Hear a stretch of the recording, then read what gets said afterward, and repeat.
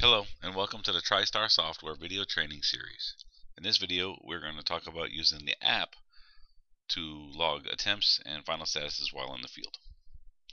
When you first, This is uh, being used on an iPhone, but the Android app looks almost identical other than just a few cosmetic changes. For the most part it's exactly the same.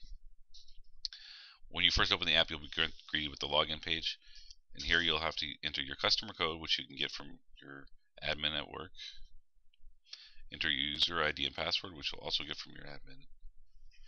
And then the validate login button. Now, the first time you log in, you need to keep that button checked because what it's going to do is it's going to log into the server and download all the jobs that are assigned to you. And if you're in, once you've done that, and then you go out in the field to do your work, if you're in a coverage area that's not that good, you can uncheck the validate login box when you log into the app, and it will log into the local database. Any new orders that have been assigned to you between those two times, though, will not be in the database but all the orders that you synced up last time you were in the office will be there. Okay, so we'll leave the validate login box checked, and we'll go ahead and log in. It's going to log into the main database, validate the user, make sure you're supposed to be in there, find out what jobs are assigned to you, and download them. So now we'll be presented with our category view. We have process jobs, delivery and court jobs, and jobs in queue.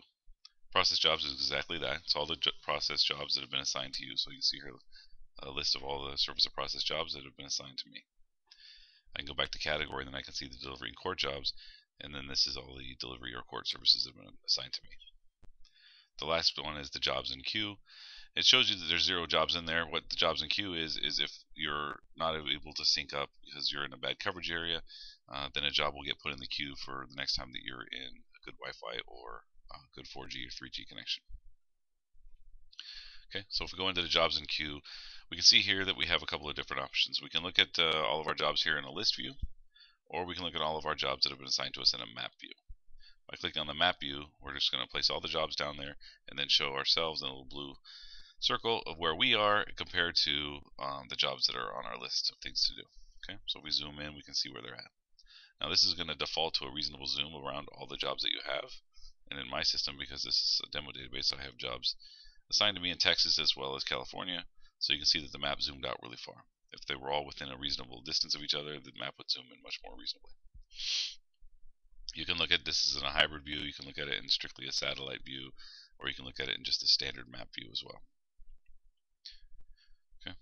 So if we go back to our process orders here, we can see that we've got the list view, and then we can move into a job to get some detailed information about that job. So if we look down at the list of jobs that we have, so we'll just scroll down and we can, let's go into this job down here. TS10063. Okay, the address for this job is at 1704 Spring Street in Paso Robles, California. The due date for this job is 10-31-2014.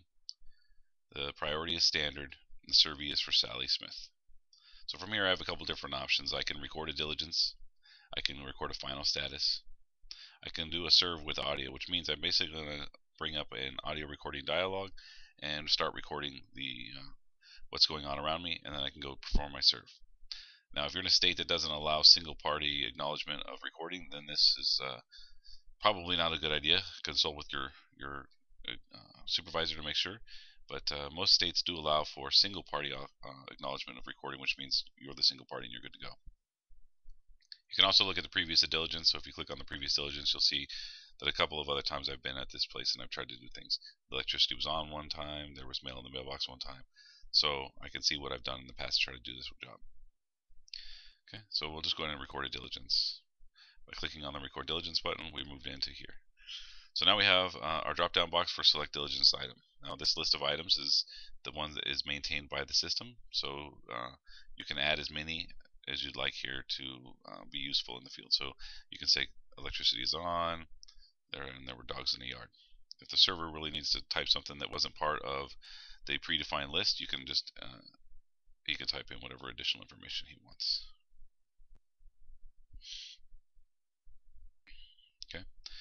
Uh, the address is being automatically populated by the address of what the job is. The date and time is being populated by by the system and right now when I'm doing it. However, if I just did this an hour ago and I'm just now getting around to logging it, I can change the time if I need to.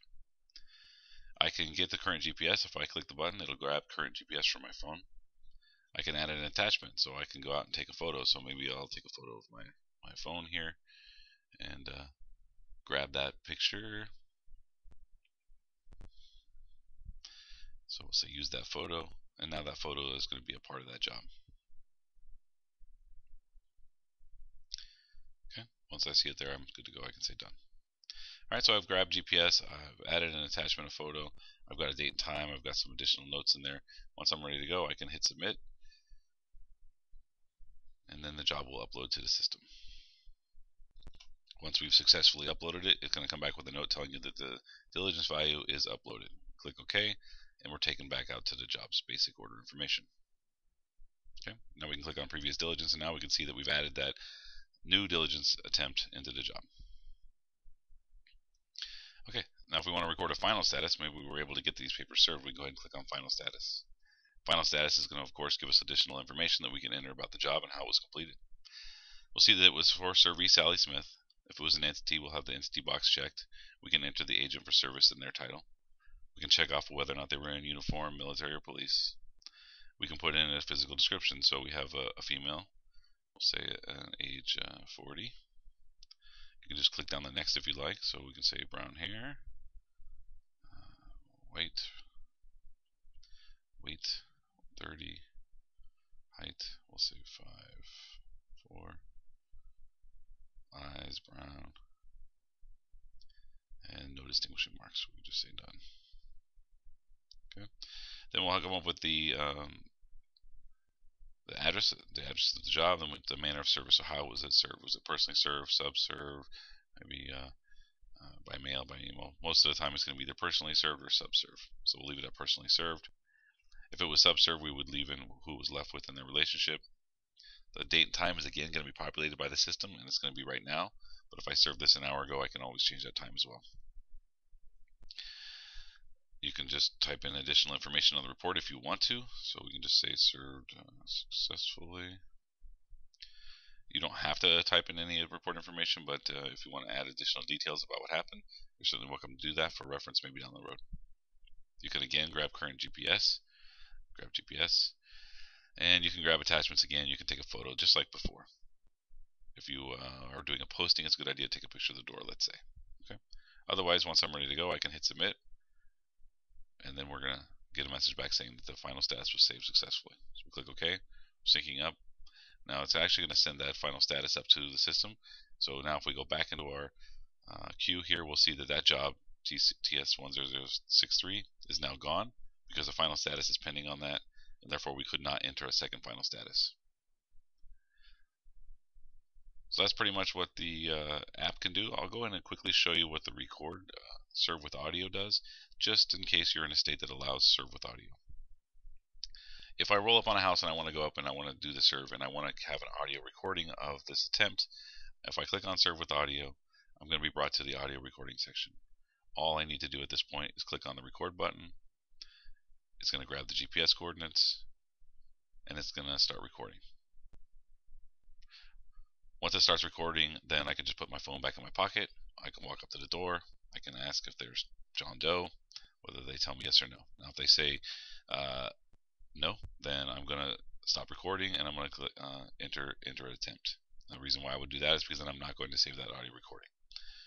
Uh, if I did complete it, I can go ahead and stop the recording and then hit complete serve. Either way, when I go to enter, like say the complete serve, it's going to grab that audio file and it's going to attach it to that final status, and then it'll be part of the uh, record when it gets back into the main office. So that is the app uh, while using it in the field. Um, you can see down here at the bottom then that uh, you can see that little speaker there shows that there's an audio file attached to this final, final status. Okay, That's using the app. And if you have any other questions, please contact us at uh, www.tristarsoftware.com. Have a great day.